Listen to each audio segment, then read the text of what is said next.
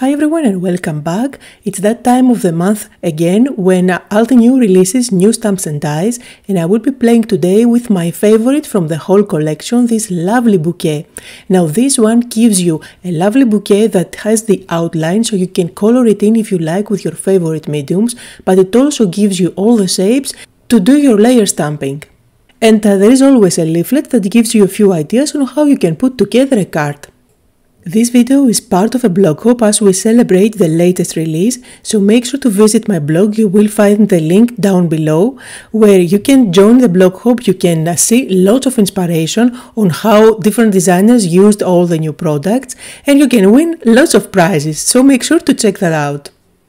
There is also a matching die available which I'm going to use today as well as a stencil that uh, helps you color the whole bouquet in no time. I'm going to start by stamping my outline, but if you notice when you place the stamp down, the uh, bunch of uh, stems is moving, so I'm not always sure if I have placed that correctly. That's why I'm going to do the die cutting first. I'm securing the die with low tack tape and I'm going to run it through my die cutting machine. And I'm going to use both the negative and the positive from this die cut, so I'm going to place down the negative and then I can easily align the stamp inside that uh, space. This way I know that it's going to fall exactly where it should be. Then I'm going to grab the stamp with the door of my MISTI and I can place the positive inside. First I'm stamping the outline with black ink and then for each and every one of the flowers there are only two layers which makes it super fun and quick. You see here I had to stamp that a couple of times to get a good impression and then I will move on to the flowers. For my bouquet I decided to go with a red, an orange and a yellow flower. For the red I started with crimson and the second layer is with velvet. For the orange I went with snapdragon and the second color is um, marigold. Now I don't always show that on my videos but I always prep my stamp before I stamp for the first time, especially when it is a solid one. I did that for all the solid parts of this stamp set and I usually work with an eraser or you can just uh, rub it with your finger. Now, instead of having to fight with all the little uh, pieces for the leaves and uh, all the foliage that is there, as well as the stems, I decided to go and color everything with my alcohol markers. The fun part about working with uh, the color system by Altenew is that you get the same colors on inks as well as on markers, so I can match everything perfectly. By the way, for the yellow flower, I went with maple yellow and honey drizzle. Now I can always use the darker shade. I'm working with bamboo here and uh, parrot as the shading marker, but uh, since uh, the shading on the flowers isn't blended out perfectly, there are harsh lines on that shading. I want to follow the exact same design so that everything matches nicely. That's why I'm going to just apply the first layer of color with my marker which was bamboo and then I can use the little layering stamps that are supposed to add the shadow but instead of using my MISTI, I'm just using a small stamping block there. I find that uh, more quick. And if I don't uh, align something correctly, which is the case with this shadow here, I can always use the exact same marker, which the ink that I'm using here is uh, Parrot. I can use the Parrot marker and uh, color in the gap. This is a really fun uh, thing when you have the exact same color in markers and inks. So you can combine both. If you notice there is a flower at the top that no other flower is overlapping that.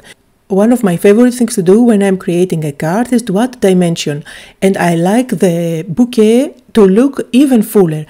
That's why I'm stamping and uh, layering that flower one more time so that I can use my scissors and fuzzy cut it. This way I can later on pop it on top of my card. I'm cutting out the flower exactly where that black line is without leaving any border. And the trick to make it look as if you did a perfect job while fuzzy cutting is to go all around the edges with a black marker. I have foam tape at the back and then I can place it on top of my bouquet. If you want you can align it exactly on top of the other flower or you can offset it which is something that I'm going to do here. I'm just showing you how it's going to look. If you offset it, the flower is going to look fuller because you can see the other petals coming through in between the petals at the top. I think this makes a lovely focal point. Now let's work on the background. For that I'm going to use this embossing folder that has just been released. It is the linen texture. I'm going to run it through my die cutting machine and you can see the wonderful texture that I got. You can use both front and back and I actually used uh, vanilla cardstock here and that panel is slightly smaller than the standard card so you can see when I place it on top of my card base I end up having a little white border. I'm going to pop some foam squares at the back of my flower and then stick it uh, on top of my card.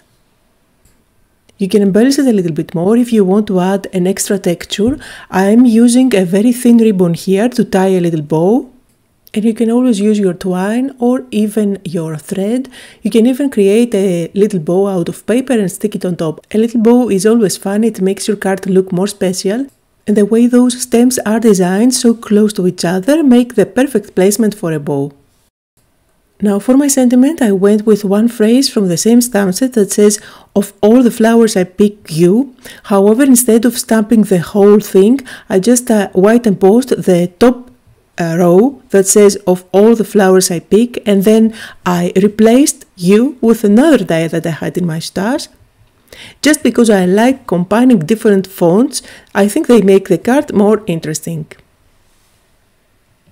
Finally, I'm adding some white Nuvo drops on uh, the flowers and I'm going to call this card done. I can never have enough flower stamp set eh? and I believe that this bouquet is beautiful and it is perfect for any occasion. Just like always you will find links to everything I used today down below in the description area.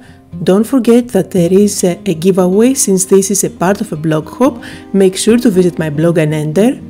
Thank you all so much for visiting today. I hope that you had fun and that you got inspired and I'll see you all next time.